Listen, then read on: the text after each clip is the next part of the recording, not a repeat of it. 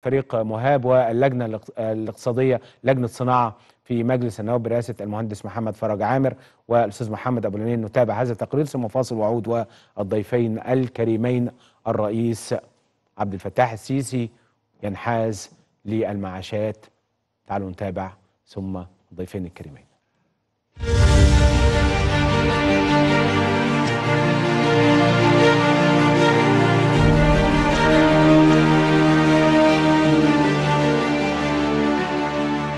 لاستعراض الموقف الاستثماري والمستقبلي ودعما للصناعة الوطنية المصرية قامت لجنة الصناعة بمجلس النواب بزيارة لمقر الهيئة العامة للمنطقة الاقتصادية لقناة السويس حيث تم شرح الإجراءات المتخذة للانطلاق بمصر اقتصاديا ولتنافس المنطقة الاقتصادية لقناة السويس المناطق الاقتصادية حول العالم. النهارده إحنا بنكمل المسيرة بالمرور على الهيئة العامة للموارد الاقتصادية بعد المرور على هيئة قناة السويس وشرق بورسعيد والهيئة العامة للمنطقة الاقتصادية. وهتشوفوا بنفسكم إن شاء الله الواقع على الأرض شكله إيه وإحنا هنرحب بأي ملاحظات لحضراتكم وهنقول لكم برضو على إيه العوائق اللي ممكن بتقابلنا لأن إحنا كلنا في مركب واحدة وإحنا عايزين نصل بهذه المركب أو هذه السفينة إلى بر الأمان. وزي ما سيادة الرئيس عبد الفتاح السيسي بيصارع الزمن ويسابق الزمن علشان يصل بمصر إلى بر الأمان إحنا لازم كمان نسابق ونصارع الزمن عشان نصل بمصر إلى بر الأمان من الناحية الاقتصادية. الرؤية المستقبلية في المنطقة الاقتصادية لقناة السويس كانت واضحة فكانت زيارة تفقدية للفريق مهاب ماميش رئيس الهيئة الاقتصادية لقناة السويس وبرفقته أعضاء لجنة الصناعة بمجلس النواب إلى مصنع وايتفيل بالعين السخنة. المنطقة الصناعية هنا منطقة إحنا بدأنا فيها من حوالي آه، تقريبا 20 سنة. وكانت المنطقة دي آه، مخر سيل ومكان مهجور وفي كم كبير من الألغام تحت الأرض والحقيقة كان حلم كنا بنتكلم عنه عشان نعمل العاصمة الاقتصادية الجديدة. إلى أن جاء معالي الفريق مهاب مميش. هذا الرجل الحقيقة اللي لازم تعرفوا إن التاريخ يكتب اسمه بأحرف من ذهب. وبنطور الحقيقة المنطقة دي والزيارة الأخيرة بتاعت معالي رئيس الوزراء.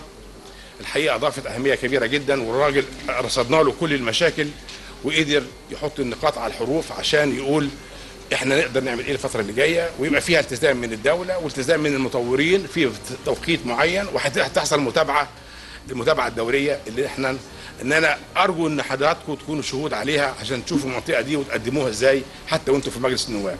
الصناعة الحقيقة هي القيمة المضافة الحقيقية لأي دولة. الصناعة هي تشغيل الأيدي العاملة، هي التصدير، هي العملة الصعبة، هي الضرائب، هي الجمارك، هي هي هي هي والعالم بينظر لها منظور أهمية بالدرجة الأولى الصناعة. لكن المؤسف إن إحنا عندنا الصناعه يمكن بنفكر فيها فكر يعني إلى حد كبير محتاج تطوير ومحتاج رؤى جديدة ومحتاج قوة دفع حقيقية عشان نعرف مدلول الصناعة يعني إيه. الصناعة في مصر يا اخوانا أنا أعتقد يمكن الطلب الوحيد اللي هطلبه منكم كلكم إن يكون تحت رعاية السيد رئيس الجمهورية. أنا الأول مطلب بطلبه لأنه الرب الشرعي اللي عمل التطوير الكبير ده واللي بيعمل النهضة الحديثة لمصر بالسرعة دي وبيدير مصر بالكفاءة دي هو قادر إنه يدخل صناعات جديدة وقادر يقود حركة الصناعة في مصر برتم مختلف تماما عن اللي بيحصل دلوقتي. الصناعه مش مجرد أرض وشوية مرافق. لا النهارده القيمه المضافه قيمة العقول قيمة الإبداع. إحنا النهارده بنتكلم على رؤى جديدة بنتكلم على قوة دفع جديدة للصناعة بصفة عامة وبنتكلم في نفس الوقت على image بتاعنا اللي اترسم واللي رسمه السيد الرئيس للعالم كله النهارده image تاني خالص. فيجب إن الصناعة تتواكب مع ال image ده ويجب إن الصناعة تقول للعالم إحنا قادرين وعندنا رجال صناعة وعندنا صناع يقدروا يعملوا إيه. سيادة المحافظ طبعا آه، لا يفوتنا ابدا إن إحنا نرحب بيه. ومن day 1 من أول لما دخل المحافظة وبدأت المحافظة تتغير تغير محوري. مهم جدا. قعد مع الناس شاف مشاكلهم قعد مع الصناع عمل أكتر من أربع لقاءات أنا حضرتهم مع جيش مع قيادة الجيش الثالث وكان الحقيقة بيدعو إلى منظومة جديدة وإلى مشروعات هو محددها. عشان يكمل أدوار من رجال الأعمال مع أدوار المحافظة مع أدوار القوات المسلحة. الحقيقة يا فندم أنا بهنيك وبقول لك ربنا يديك الصحة والعافية وت- وتتمم كل مشروعاتك اللي انت فكرت فيها وتعملها. وكانت رؤية السيد محمد أبو العينين رئيس كليوباترا جروب حول حلم العاصمة الاقتصادية الجديدة ومسيرة نجاح دامت لسنوات كمطور صناعي وصلت منتجاته ل 106 دولة و800 معرض عالمي بما يعد قيمة مضافة للصناعة المصرية برؤى مستقبلية. إحنا هنا عملنا صناعات الصناعات دي بتغزو أكتر من 106 دولة في العالم. الصناعات دي حلت تماما محل المستورد في صناعات السيراميك والحمامات والبورسلين.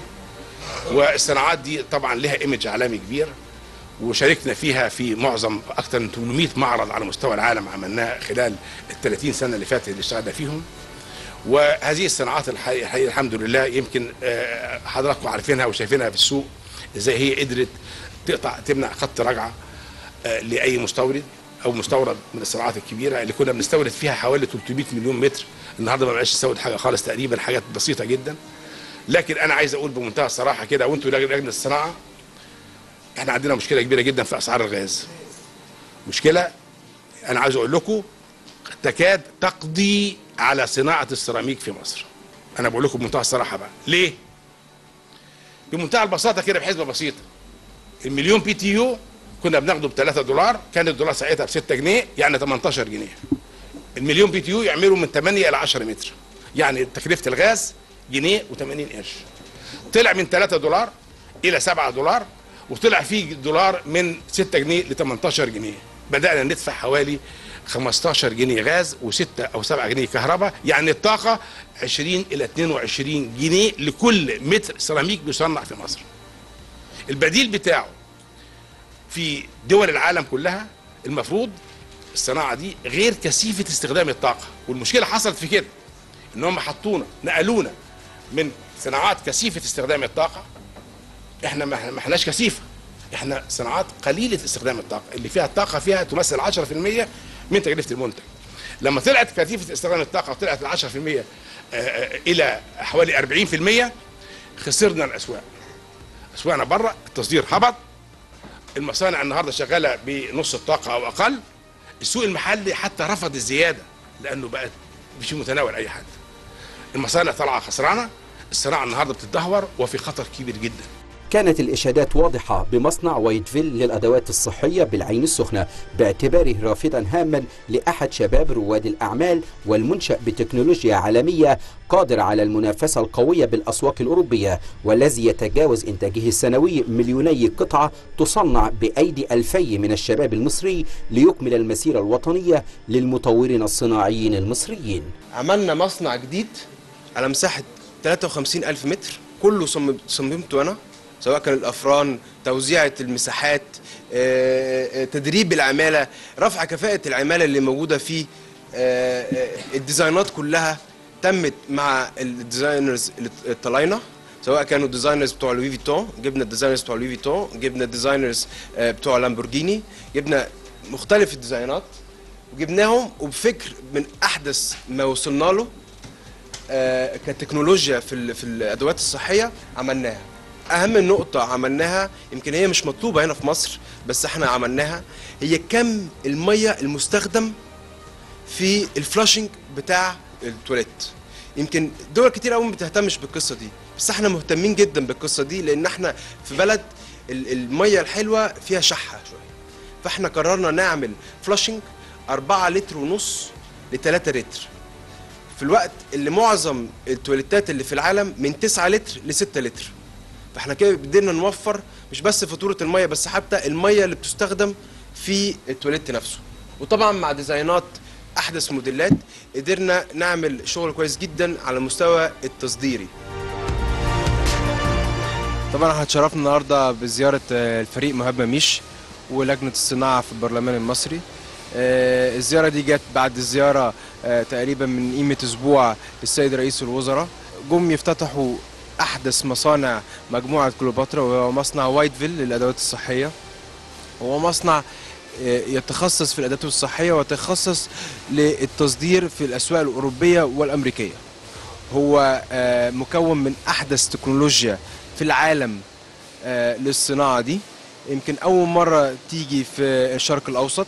خطتنا إن إحنا ناخد شريحة كبيرة من السوق الأوروبي سواء كان من جنوب أوروبا أو حتى إنجلترا. دي كما آه، آه، بداية. ولكن إحنا برضو الولايات المتحدة الأمريكية سوق كبير جدا وواعد جدا. إحنا برضو بنديله نظرة كبيرة.